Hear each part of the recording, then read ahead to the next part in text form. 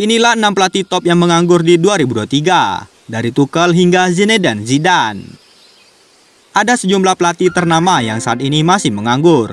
Mereka bisa menjadi solusi apabila ada klub yang memutuskan untuk berganti pelatih. Pelatih sepak bola merupakan salah satu pekerjaan yang punya tuntutan yang sangat tinggi. Mereka dituntut secepatnya memberikan prestasi untuk klub yang ditanganinya.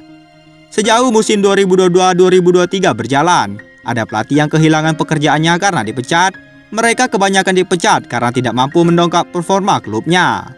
Saat ini ada beberapa pelatih top yang masih menganggur. Mereka tidak terikat dengan klub mana pun meski punya reputasi yang bagus dalam dunia kepelatihan. Siapa saja pelatih top yang masih menganggur?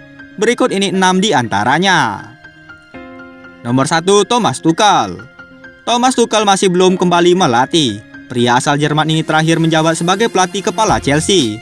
Bersama Chelsea, Tuchel mampu mempersembahkan tiga gelar, itu termasuk trofi Liga Champions dan Piala Super Eropa. Namun Tuchel dipecat Chelsea pada awal musim ini, performa buruk klub menjadi alasan The Blues memutuskan berpisah dengan ex-PSG tersebut. Nomor 2, Mauricio Pochettino. Mauricio Pochettino menjabat sebagai pelatih PSG pada musim lalu. Namun dia dipecat setelah klub Perancis tersebut memenangkan gelar Liga 1. Sebelumnya, Pochettino punya reputasi yang cukup bagus saat menangani Tottenham Hotspur.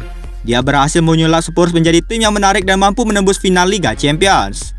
Selain PSG dan Spurs, Pochettino juga pernah menangani Southampton dan Espanyol. Dia belakangan ini dikaitkan dengan kursi kepelatihan Chelsea. Nomor 3, Rafael Benitez. Rafael Benitez punya berpengalaman menangani sejumlah klub papan atas Eropa, Pria berkebangsaan Spanyol itu pernah melatih Real Madrid, Liverpool, Chelsea, Inter Milan hingga Napoli. Klub terakhir yang dilatih Benitez adalah Everton. Dia bekerja di klub yang bermarkas di Goodison Park tersebut pada Juli 2021 hingga Januari 2022. Selama melatih klub top Eropa, Benitez pernah mempersembahkan sejumlah trofi bergengsi. Sebut saja Liga Eropa, Liga Champions, dan Piala Super Eropa. Nomor 4, Luis Enrique Luis Enrique merupakan pelatih timnas Spanyol pada Piala Dunia 2022 kemarin. Dia kembali melatih tim Matador pada tahun 2019 lalu. Namun Spanyol disingkirkan Maroko pada babak 16 besar.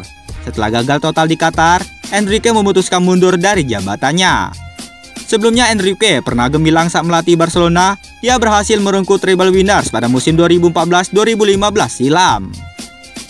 Nomor 5, Joachim Leo Joachim Leo punya prestasi yang mengesankan saat menangani timnas Jerman.